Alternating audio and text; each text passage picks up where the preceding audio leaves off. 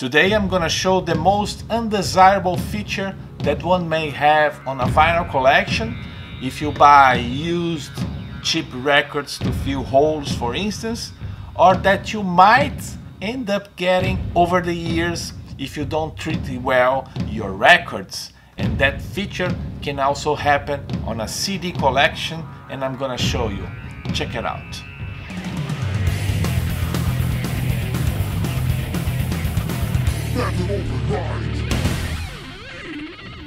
Hey guys, Guz69 from Metal Open Mind Brazil.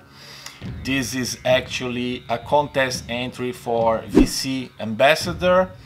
I didn't know his channel, but I watched uh, a few response to this uh, contest yesterday and I decided to jump on board. It's pretty simple. You only have to show ring wear on your records. Yes, ring wear.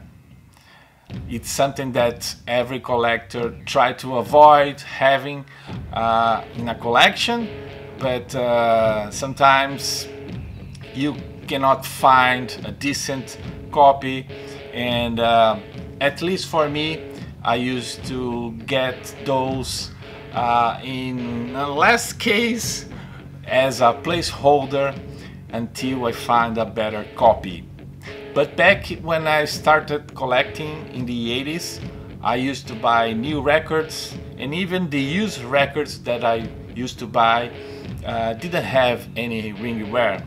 But over the years, over the decades, and now that I restart collecting uh, a few years ago, uh, it's uh, unavoidable uh, you end up getting uh, some of that as gifts or if you buy a large lot of records uh, or sometimes just because it's cheap then you want to have as a placeholder uh, to fill uh, some of discographies that you are trying to complete. So that's what I'm gonna show. Uh, I will start for something uh, that I got as a gift from a girlfriend. This album by Alice in Chains. As you can see, there's the ring wear. And by the way, if you don't know, this happens when uh, the album is not well protected, when uh, people pile records this uh, wear start appearing in the album covers. So uh, this is a pretty rare, original um, Brazilian pressing, uh, hard to find, very expensive, and uh, as a gift I decided to uh, to keep on my collection, of course. But sometimes I get uh, I do some deals and I get like a, a big uh, lot of, of, records and among them are always uh, I always find uh, albums that are very weird like this AC/DC this one is always is, it's also tear the bottom but anyway you get the picture again another original Brazilian press. Hard to find. Uh, this one I got uh, I sold some uh, of my crashes my drum crashes and the guy had a collection and uh, I ended up getting uh, I did a discount on the price and I get uh, I think was 80 records and some of them were like this. Uh, and this is something that happens a lot especially on white and black albums when the most of the color are white or black. I don't have uh, the Beatles white album not even Metallica black album but on the same lot I got this Duran Duran. I don't know if you can see, but there is the mark. This one is mostly because of dirt, wasn't treated well, but I had a, a better copy. This and this one uh, I will keep and this one I will try to sell or give to somebody uh, because this one is uh, better. I think it's a reissue but anyway much better. Even though it has in the white some uh, pink stripes or red stripes it's hard to see here but anyway much better condition. So I will keep this and I'm going I will get rid of this one. And um, on an online purchase, I got a Brazilian band called Garcia y Garcia. As you can see, the ring wear there, but the photo on the website uh, was pristine. So uh, I contact the seller and I, I, told him that I would not keep this one because of the condition. And he said no keep that one and I send you another one. So I end up getting this much better shape.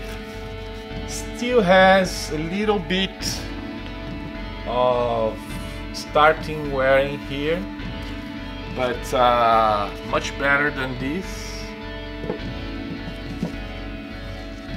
back. Same thing. This back is much better.